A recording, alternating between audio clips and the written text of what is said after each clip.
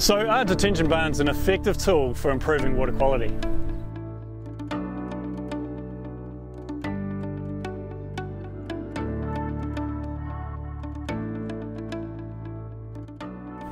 Hi, I'm Matt Highway from Living Water.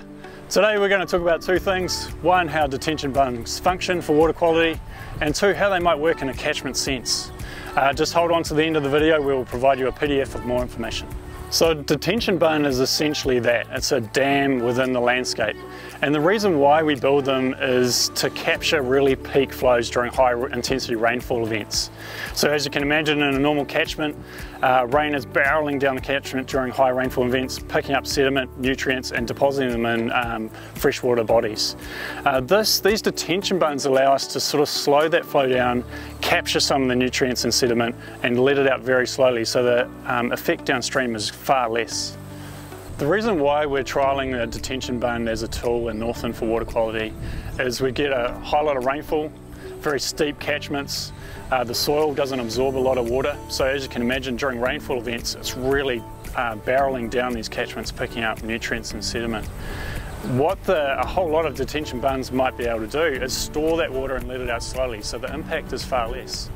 Uh, velocity of water in the streams is reduced, so bank erosion is reduced, uh, habitat for fish and invertebrates is maintained, um, but we can also capture sediment. Uh, as the water slows down, sediment may be able to drop out much better. The last thing also is uh, we have residence time for water too, so that allows the microbes in the soil to digest some of the nitrate and release it as harmless N2 gas. So the retention bund behind me is an individual tool to see how well they work uh, in an individual basis. But you can imagine a whole lot of these in a catchment, how much uh, flow would slow down, velocity of water in the streams would be uh, much reduced. Uh, it'll pick up less sediment, less nutrients on its way down, but also give the uh, soil and water an ability to absorb those nutrients and sediment before it gets into our precious water bodies. So detention bunds and the retention bund behind me, they're, they're expensive. This one here costs around 20,000 New Zealand dollars to build.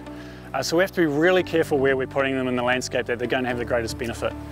Uh, so what Living Water is doing is finding out exactly how they work at an individual basis, but also we want to scale these up into a catchment sense uh, so that we know how they function uh, holistically.